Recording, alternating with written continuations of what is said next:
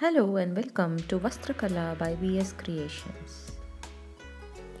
After the earlier tutorial on shape filling stitches that are ideally suitable for working petals and leaves, shouldn't we learn some more stitches which can be suitable for leaves, ferns, creepers, sprigs, etc.? So here we are with a demo of three unique stitches ideal for leaves, sprigs, etc.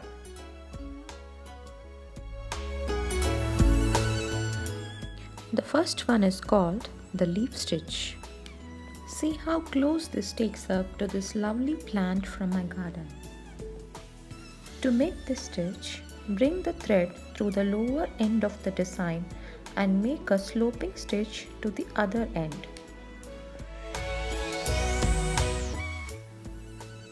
Bring out the thread from the same side and take it to the opposite side. You can draw two reference lines in the center if required to guide through.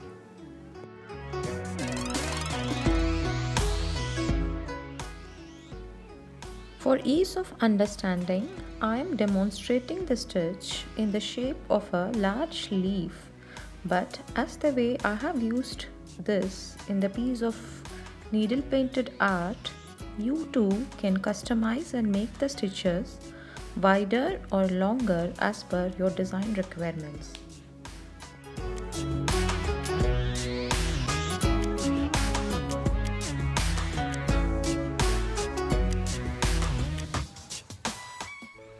The next stitch is the Bokhara couching. This stitch is useful and ornamental for filling shapes of leaves and petals of flowers. In this artwork, I have used it to give an ornamental and nice 3D effect to the flower pot by using all the 6 strands of the embroidery floss. And in this demonstration of a leaf, I am using only 2 strands as we normally do. It is worked in the same way as Romanian stitch but the small tying stitches are set at regular intervals over the laid thread to form pattern lines across the shape. You can check out the working of Romanian stitch from my earlier video of shape filling stitches. The tying stitches should be pulled tight leaving the laid thread slightly loose between. Here I have tied the threads at three different places as you can see to get a three-dimensional effect suitable for a leaf pattern.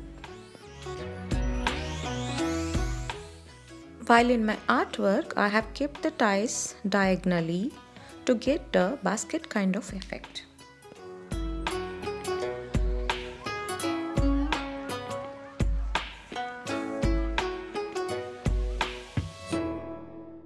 Then we have the wheatear stitch. This stitch is worked across two parallel lines.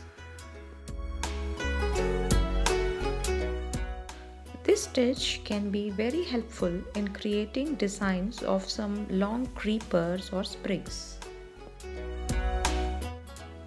Though this is worked between two lines, not necessary that the two lines need to be straight.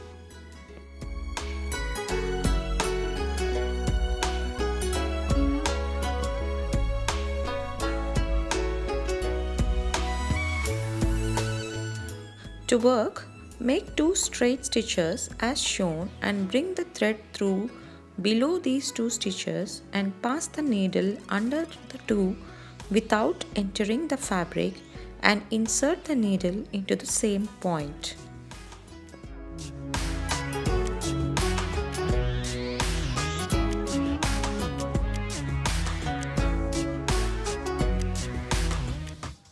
From here again make two sloping straight stitches and continue in this pattern. Hope you all liked this video and learnt a few new stitches. See you all soon with a new video of different set of stitches and their applications. Please subscribe to this channel and click on the bell icon to watch our videos and learn to create your own designs.